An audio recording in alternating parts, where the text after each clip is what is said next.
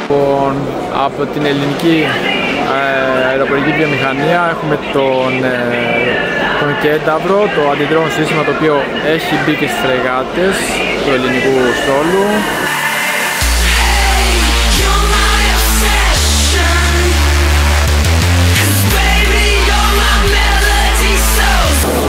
Έχει πάει στην Ερυθρά Θάλασσα. Εμβέλεια, τι έχουμε εδώ πέρα, 100 χιλιόμετρα.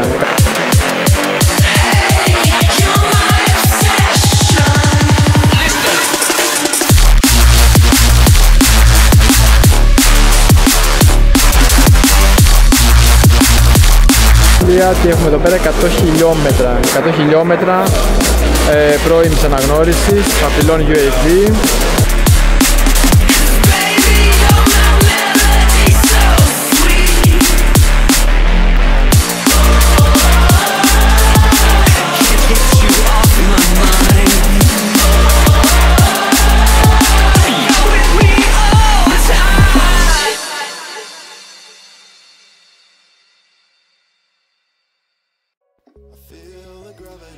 Καλησπέρα φίλες και φίλοι.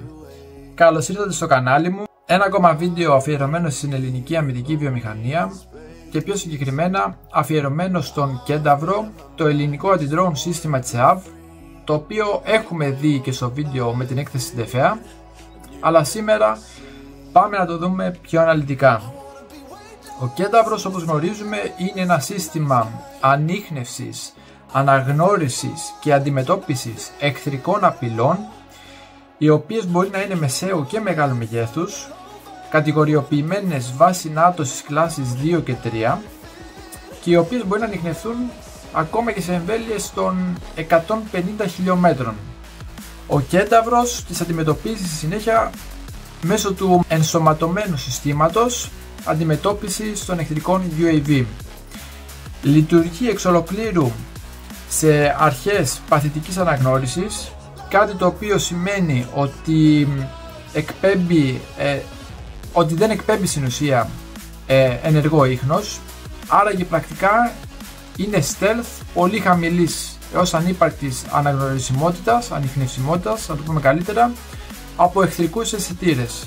Το πρόγραμμα Κένταβρος ξεκίνησε το 2019 από την ΕΑΒ, με τις πρώτες δοκιμές να γίνονται το 2022 και το σύστημα να είναι πλήρως επιχειρησιακό το Νοέμβριο του 2023. Σχεδιάστηκε και υλοποιήθηκε εξ ολοκλήρου από την ΕΑΒ με καταπαραγγελία λογισμικό και με απαιτήσεις οι οποίες προέρχονταν κατευθείαν από το πεδίο των μαχών. Μιλάμε για ένα σύστημα το οποίο αρχικά είχε ε, κατασκευαστεί με σκοπό την τοποθέτησή του σε χερσαίες μονάδες, όμως η πρόθεση του πολεμικού ναυτικού να συμμετάσχει στην επιχείρηση Ασπίδες στην Ερυθρά θάλασσα οδήγησε την εταιρεία να φτιάξει όπως καταλαβαίνουμε και μια ναυτική έκδοση προκειμένου να ε, προστατευτούν και οι φρεγάτες του πολεμικού ναυτικού.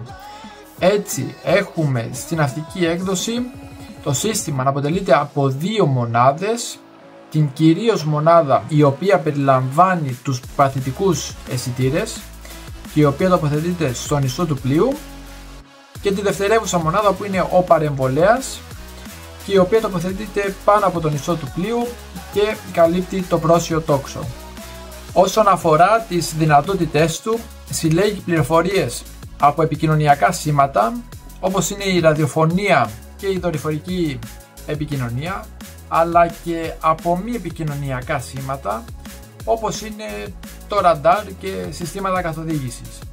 Εστιάζει στα ηλεκτρομαγνητικά σήματα τα οποία δεν μεταφέρουν επικοινωνία όπως είναι για παράδειγμα τα ραντάρ εχθρικών αεροσκαφών ή πλοίων, τα συστήματα καθοδήγησης και τα συστήματα ελέγχου πυρός.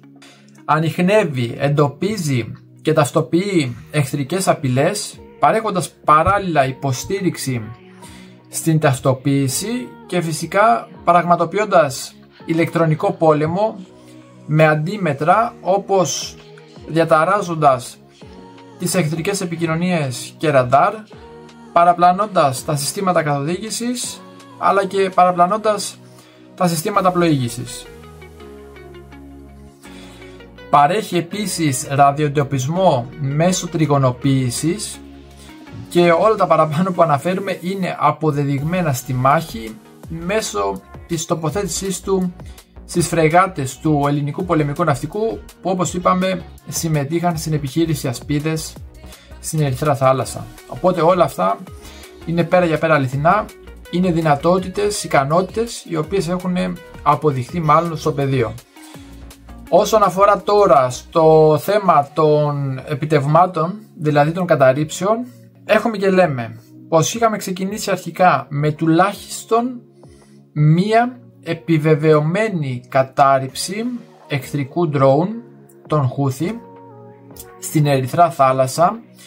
Υπενθυμίζω πως το βίντεο που έχουμε δει και βλέπουμε και τώρα ε, που είχε διαρρέσει στο Twitter από το Ολλανδικό ε, πολεμικό ναυτικό χωρίς τη συγκατάθεση του ελληνικού πολεμικού ναυτικού μας έβγαλε στη φόρα, χωρίς, στη σέντρα χωρίς να το θέλουμε εμείς.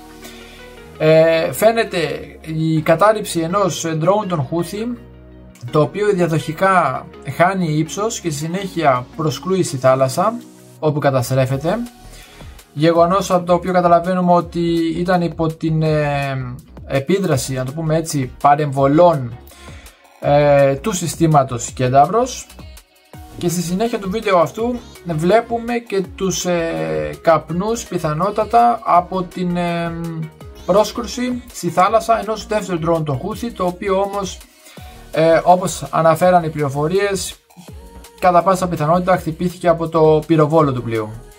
Όλα αυτά συνέβησαν όπως είπαμε 7 Ιουλίου του 2024 και περίπου 7 ημέρες αργότερα 15 Ιουλίου έχουμε δεύτερο περιστατικό επιβεβαιωμένο περιστατικό κατάρριψης εχθρικού drone όπου σύμφωνα με δημοσίευμα της καθημερινής πληροφορούμαστε ότι εντοπίστηκε εχθρικός μήνος UAV των Houthi από αυτά και σύμφωνα με ανακοίνωση του ΓΕΘΑ ε, εγκλωβίστηκε και καταρρίφθηκε το ένα. Και από ό,τι μας αναφέρει και ο συγγραφέας έπειτα από παρεμβολές τριών λεπτών από το σύστημα Κένταυρος ενώ τα υπόλοιπα αναφέρει το ΓΕΘΑ απομακρύνθηκαν αλλά ο συγγραφέας όμως αναφέρει πως είχαμε για κατάρρευση πιθανότητα δεύτερου drone αλλά δεν μπορεί να επιβεβαιωθεί λόγω της ε, απόστασης που υπήρχε από τη μονάδα του πολεμικού ναυτικού. Πάμε τώρα στις εξελίξεις και στα νέα που υπάρχουν σχετικά με το σύστημα. Μέχρι τις 14 Μαρτίου 2025 όπως φαίνεται υπήρχε μόνο ένα σύστημα κένταυρος, ένα πρωτότυπο το οποίο μεταφερόταν από φρεγάτα σε φρεγάτα του ελληνικού πολεμικού ναυτικού προκειμένου να επιχειρεί στην Ερυθρά θάλασσα και στην επιχείρηση Ασπίδες. Όπως πληροφορούμαστε από το site durios.com την ημέρα αυτή, 14 Τρίτου, υπογράφτηκε σύμβαση μεταξύ της ΕΑΒ και του πολεμικού ναυτικού για την κατασκευή ενός συστήματος και στη συνέχεια ο αρθρογράφος μας πληροφορεί ότι επίκειται και υπογραφή δεύτερης σύμβασης σε σύντομο χρονικό διάστημα για την κατασκευή άλλων τριών κεντάβρων.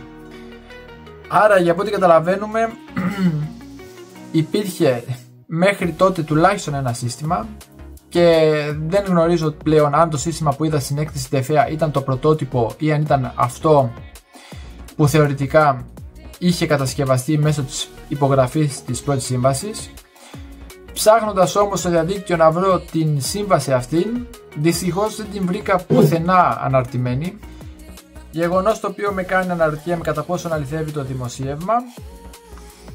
Πριν κλείσουμε, αξίζει να αναφερθούμε και στο κόστος του κεντάβρου. Σύμφωνα με την ιστοσελίδα ελληνικοστρατός.com το κόστος φέρεται να είναι στα 1,3 εκατομμύρια ευρώ η μονάδα. Με την τιμή να μπορεί να πέσει και στο 1 εκατομμύριο ευρώ σε περίπτωση μαζικής παραγωγής βέβαια. Κάτι το οποίο από ό,τι φαίνεται κάνει πολύ προσιτό το σύστημα αφού αντίστοιχα από το εξωτερικό είναι πολύ πιο ακριβά. Και ο Κένταυρος είναι εξίσου αν όχι καλύτερος ένα πάρα πολύ αξιόλογο σύστημα.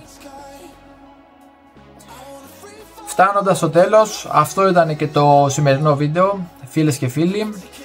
Ελπίζω να σας άρεσε, εύχομαι αν δεν έχει υπογραφεί σύμβαση για τον Κένταβρο να υπογραφεί άμεσα και όχι μια πολλές συμβάσεις και όχι μόνο από τον ελληνικό στρατό αλλά και να κάνουμε και εξαγωγές στο εξωτερικό. Είναι ένα σύστημα το οποίο φαίνεται πάρα πολύ αξιόλογο.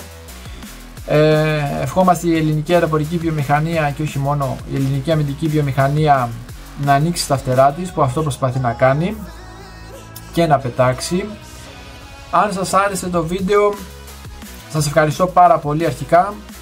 Μπορείτε να κάνετε ένα like, να πατήσετε μου αρέσει, να, να γράψετε ένα σχόλιο, να το κοινοποιήσετε, να γίνετε συνδρομητές στο κανάλι μου και αν φυσικά σας άρεσε τόσο πολύ να κάνετε και μία δωρεά βοηθώντας με να συνεχίσω αυτό το έργο της ενημέρωσης. Σας ευχαριστώ πάρα πολύ όλες και όλους και μέχρι την επόμενη φορά να είστε όλες και όλοι καλά.